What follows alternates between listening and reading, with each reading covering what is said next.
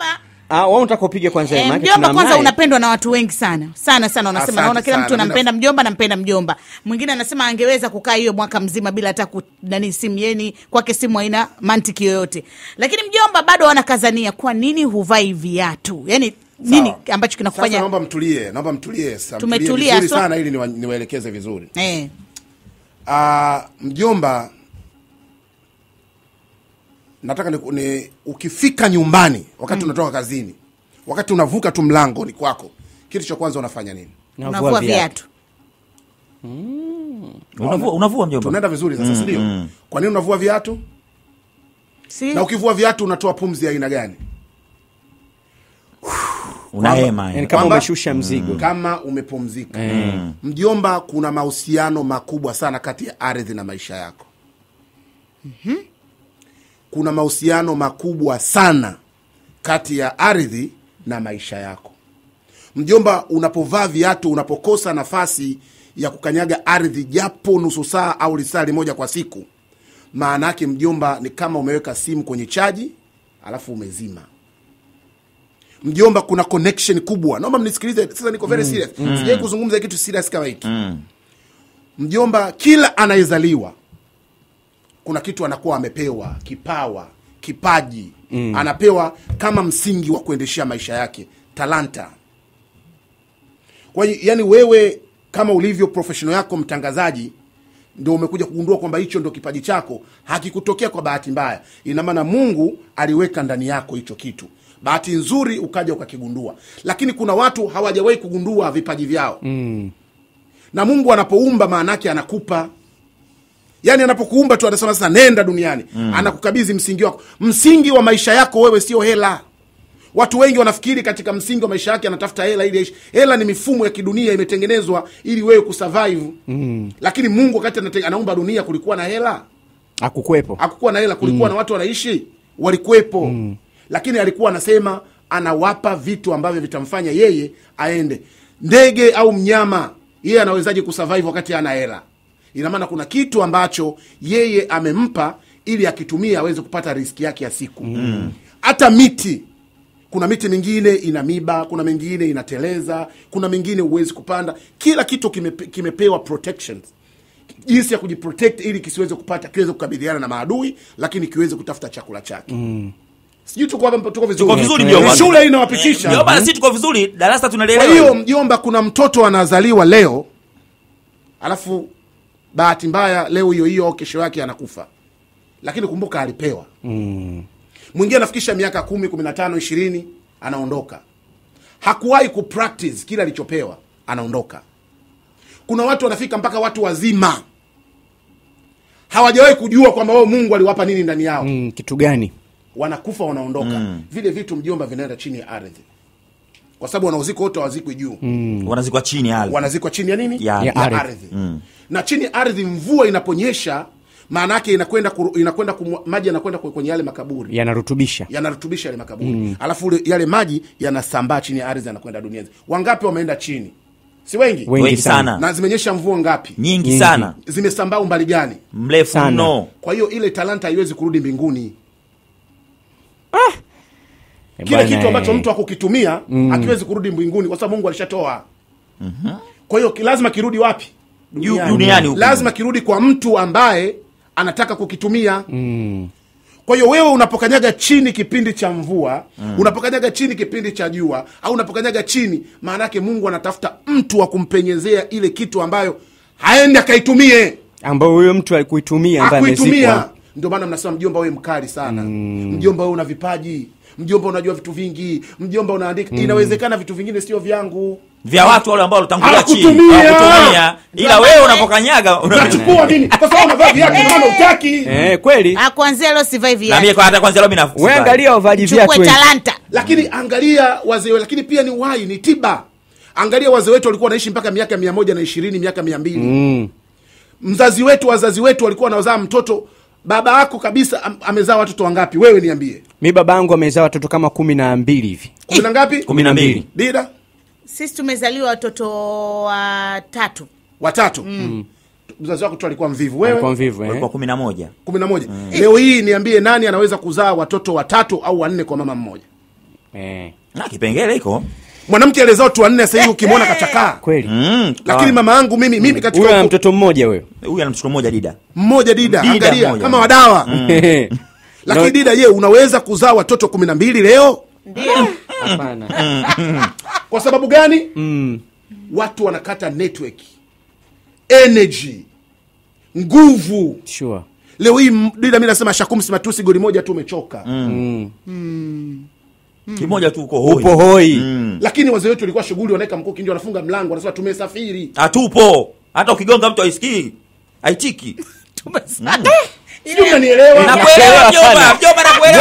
Mm. shule nzito. Ndio maana kubwa, watu mjomba. wanaku- ndio maana zikatokea holidays zikatokea honeymoon. Hapo hapo. za- zika- zika- lakini wazee wetu wakifunga ndoo walikuwa wanasafiri. Maanake wanakwenda kwenye shughuli. Kushughulika. Leo hii mtu anatoka kwenye ukumbi wa harusi anarudi nyumbani mjomba maneno hayo njomba. eh? wageni hawaondoki. Wageni hawaondoki. baada ya harusi wageni wote wanatakiwa Muondoke. kwenye harusi.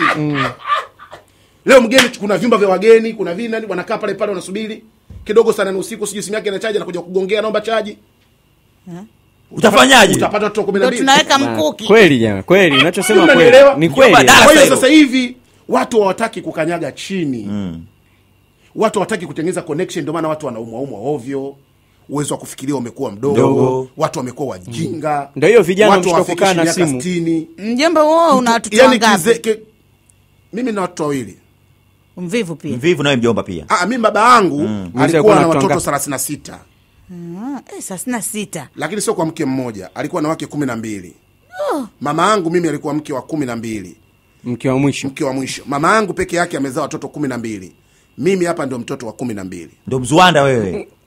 Kwa hiyo mi napozungumzia wawili kwa watatu hey. sina maana kwamba mimi nitaoa tu mke mmoja nitazaa tu kwa sababu ya mazingira vyakula na kila kitu na watu kunisema sema ndio maana unakuta kuna wakati nagusagusa viatu kwa sababu watu wanasema mjomba mchawi kaambiwa na mgonga wake. Utembee hivyo. utembee hivyo. kwa hiyo kuondoa ile dhana sitaki watu wahisi vibaya kuna wakati navaa natembea barabarani ili waseme mm. leo tumemwona mjomba na viatu. Eh na nini? Lakini viatu mimi sio sehemu yangu ya maisha. Na, na utaishia kwa mke mmoja niishie mke mmoja mimi? Baba yangu kumi na mbili mi mmoja. Hapo nimerithi nini sasa. Wewe unataka unataka wangapi mjomba? Sasa hapo inategemea na nani baadaye itakavyoweza kuwaza. Lakini mke mmoja mi kwangu mwiko. Na nalijua hilo pia mkeo kama mke mmoja. Tushazungumza na mke wangu. Mjomba wewe dini gani? Mi mwislamu Ah, Eh. na, na mke wako ameridhia kabisa. Bwana ongeza unafata mila mzee. Mke wangu mwenyewe anasema nachelewa Maana kama shule yenyewe ndio kufunga milango lazima shemeji yangu asema anasema anachelewa. nitafutie msaidizi. Anasema nitafutie mi msaidizi mjomba sinaga mzaa msione naongea hapa mkajua utani. Mimi sina mzaa kwenye ile shughuli sina. Shangazi.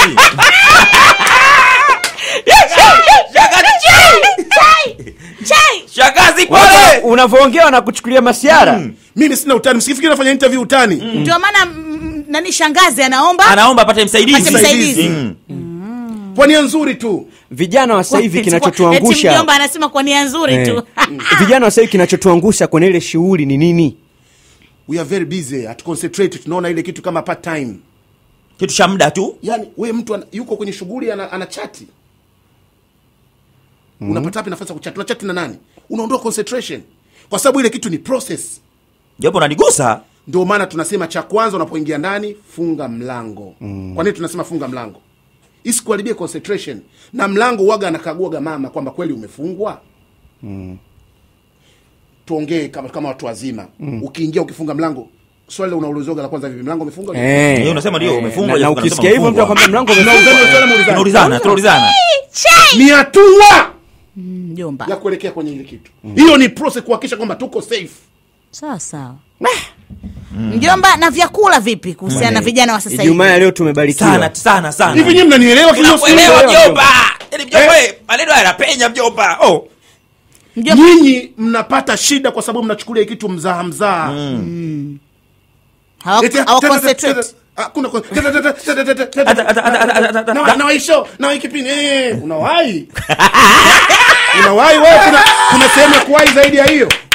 Unawahi unawahi wapi wewe Eh, rafiki yangu anasubiri niko nje kwenye gari nimekuja tu kufurahisha mke wangu mara moja. Sasa eh, eh, eh, nataka kuwa unakuja kumfurahisha umfurahishe nani? Shughulika. Eti unaondoka tayari. Asante sana mke wangu nashukuru za nini nakutumia na message eh, eh mke wangu nasa- anakuangalia. Anakutathmini. Mm. wanasema gawanye shughuli zao wache wafanye shughuli zao. Mi nachosema hakuna umri hakuna mazoea hakuna huyu nimekaa naye miaka mingi sijui nimemzoea.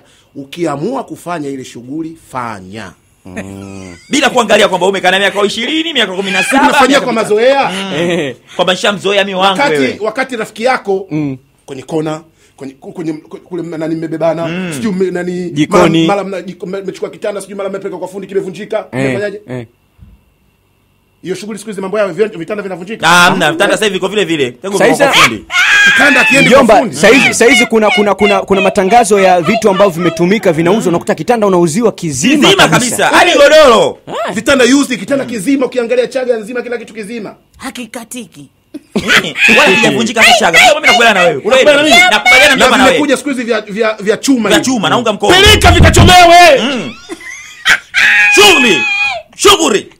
Lazima mnanielewa nyinyi mjomba bila kuelewa mjomba Jamani, igwe ya mjomba jamani, Igwe, igwe, igwe, isemo hiyo ni nini hiyo? Eh? Hiyo tumekupa saluti eh, yani. saluti mjomba. Eh? hebu nipeni sasa mwanzo nilikuwa sijaelewa. Ah, igwe igwe igwe isemo. safi lazima vitanda vi- vi- vinani kitanda cha chuma mjomba akasema lazima kiende kwa fundi kikachomelewe Lakini jamani, anayosema kweli, ukiangalia dada zetu sio kweli anatugusa yaani mimi mwenyewe ananigusa Idris. Una hilo balaa pia? Eh, nini? La ku- la kuchati. Mwenyewe hujavunja mimi sijavunja na kwamba tunachati sana. Kweli mjomba msema kweli yuko ndani ana anarekodi vikripu vya kwenda Instagram. unapata wapi wa muda mjomba ananiuzia jumba bovu mjomba mjomba ananipiga ananipiga jumba bovu mjomba. Unapata wapi muda huo? Mjomba, rekodi clip unakwenda kabisa unaenda na unaweka bando unakwenda sijui unaweka network iko sawa nini na nini una send na unaangalia followers na likes. Kweli? Mjomba si kweli mjomba mimi kwa darasa natoka hapa nasema mkwe wako ajiandae. Mjomba kwa darasa unanipa leo nasema mkweo nyumbani mjomba ajiandae. Kwanza sasa hivi wageni wote mko nyumbani kwangu mfunge safari. Sitaki. Sitaki mgeni okay. Um, mjomba umepata bahati kubwa sana kwanza ya ku, ya, ku, ya kuheshimiwa na viongozi wengi wa serikali, kitu ambacho ni wa, wasanii wachache sana wanapata hii nafasi. Unafikiri umejijengeaje mpaka serikali inakuwa inakuamini hivi kwenye shughuli kubwa kubwa unaalikwa, pamoja na kwamba sometime unaimba vitu vya kuikosoa hiyo hiyo serikali? mjomba amna kitu kizuri kama kuwa wewe mm. kuwa wewe mjomba watu wengi ni feki unapozungumzia kiongozi wa serikali maanake unazungumzia mtu ambaye ana, anaendesha mamlaka. Mm. na mtu anaendesha mamlaka lazima ujue ni mtu ambaye mwenye akili. Mm. kweli. Kwa hiyo ukiwa feki atakujua wewe ni feki. Mm. sasa watu wengi feki alafu wanajifanya sio feki. Mi mjomba sio feki. Mm. mimi mjomba sio feki. Mimi ni mimi. Ulivyo ndo ulivyo. yani nyeupe nyeupe nyeusi nyeusi. Nyekundu nyekundu. Yani mimi na rangi nayoiona ndo hiyo hiyo. Mi mjomba sina ufeki utanipenda hivyo hivyo kama unanichukia unichukie hivyo hivyo pale napotakiwa kukwambia ukweli nitakwambia ukweli pale nitakapoamua kukusifia nitakusifia ukifanya vizuri pale ukifanya vibaya mimi nakwambia mimi, yani mimi mjomba ni mimi unavyoniona hivi nilivyo ndo hivi nilivyo Ndo maisha yako. yani hii ndo maisha yangu ndio maana unajua mi mjomba siwazagi sijui kupanda sijui kushuka sijui mm. nini gemu imemwacha mimi mm. ah, ah. Wakati ukifika mjio mashamba nalo kubwa eka hamsini kule. Mm. nikiona gemu wananchi hawataki tena mi nafanya nini hapa? haya yako tu. tutarejea hapa na mjomba lakini kuna mtu amesema mjomba nimevunja kiti cha gesti nimeambua nilipe. Je chaga sinitambua nipeleke kwa fundi selemala mjomba? Lakini kuna mwingine kasema kwamba mm. yani huu ni fundi fundi fundi selemala anaitwa darisudi fundi furniture anasema hajawahi hata siku moja kuletewa hata chaga zimevunjika kwa miaka hii. Na hii ni kipindi cha miaka hii wazee wetu wa zamani chaga zilikuwa ndio maana mafundi hao walikuwepo tunarejea. Waso, wajamii.